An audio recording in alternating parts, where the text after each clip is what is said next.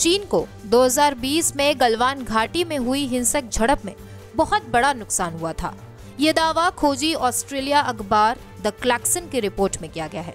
Anthony clan की report में खुलासा किया गया है कि घाटी में गलवान नदी को पार करते समय 38 चीनी सैनिक पानी में बह गए थे और डूबकर मर गए थे।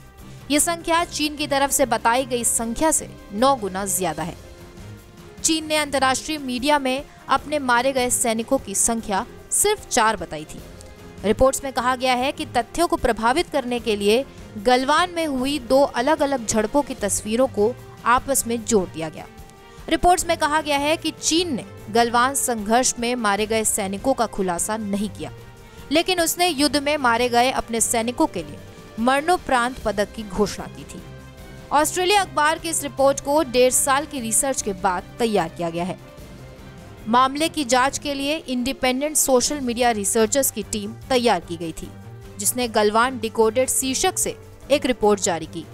एंथनी क्लान की अगुवाई वाली स्पेशल रिपोर्ट में बताया गया है कि चीन की पीपल्स लिबरेशन आर्मी, यानी पीएलए की कई सिपाही, उस रात गलवान नदी में बह गए थे।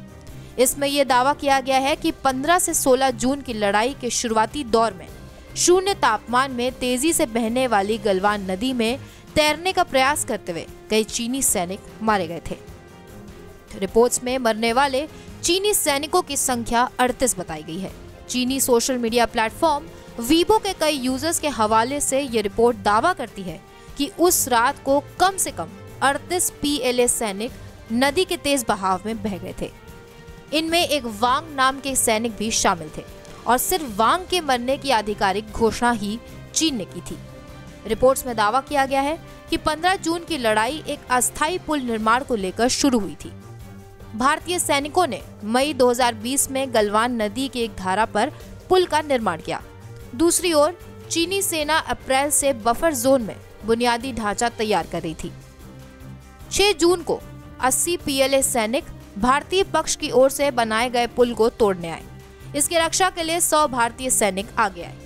ये फैसला लिया गया कि दोनों पक्ष बफर जोन को पार करने वाले सभी सैन्य कर्मियों को वापस बुलाएँगे।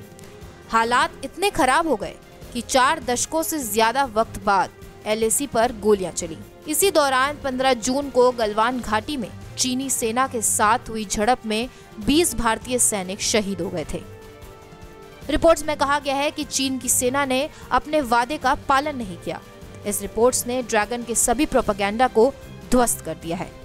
तो कैसा लगा आपको हमारा वीडियो? हमें कमेंट सेक्शन में ज़रूर बताइए। बाकी देश और दुनिया से जुड़ी तमाम बड़ी खबरों के लिए सब्सक्राइब करिए हमारा channel TV nine Bharatvarsh digital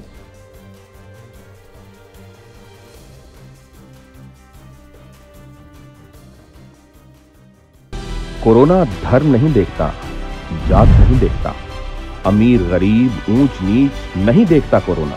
corona सिर्फ़ मौका देखता है।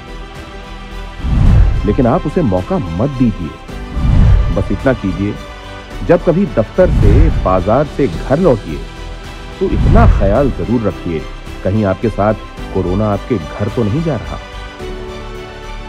भूलिए मत, कोरोना अभी ज़िंदा है।